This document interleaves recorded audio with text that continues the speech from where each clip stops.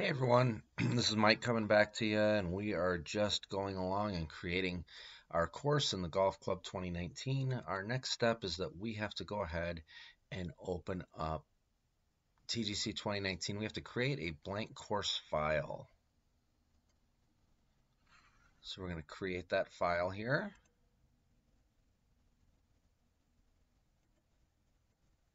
Getting into the game. It needs the blank course file because it needs to import everything into something.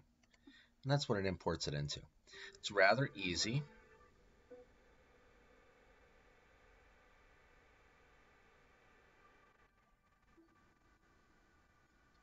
Okay, so I'm doing this in a Steam version. Many of you would be doing it in a simulator version, but it works pretty much just the same. Okay, so I'm going to go over and I'm going to go to my designer up here. And I'm going to go to new course.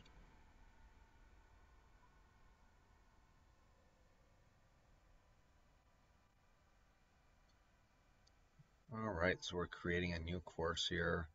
Uh, we're going to go ahead and choose a theme. And our theme is going to be, we're going to start out, I think it's going to end up being countryside, but I'm uh, countryside or rustic. But I'm not sure which one I'm going to use yet. I'm going to I'm going to go ahead and look at it and I can always change this later. So I got my theme.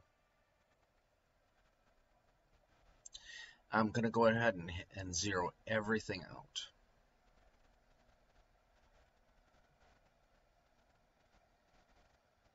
Just going to work my way through all these tabs and get zero on everything. So once I hit my apply, I can just go ahead and hit escape and that will take me back. So I've got my theme, I've got my terrain all zeroed out, my layout. I want this on zero holes. Most years will say 18. I went into the presets and I set it at, at zero, so because this is how I always use it. I just want everything set to zero.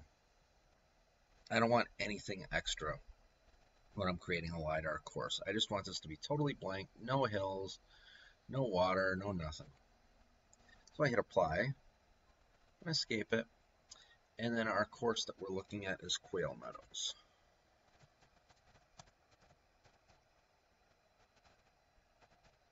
Okay, Quail Meadows right there. I've got my theme, I've got my terrain, I've got my layout, and then what I do is I need to hit continue. Okay, so I'll go ahead and do that. It's now saving the course, so it'll say this course is now saved, but others will not see it until it's published. So it's saved in my system, but it's not out on TGC right now. I don't want it there. I just want it to be a blank course file.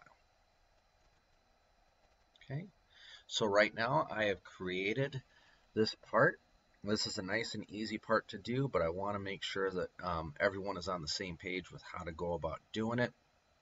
Um, and this is all you need to do in this step. Just takes you a couple minutes.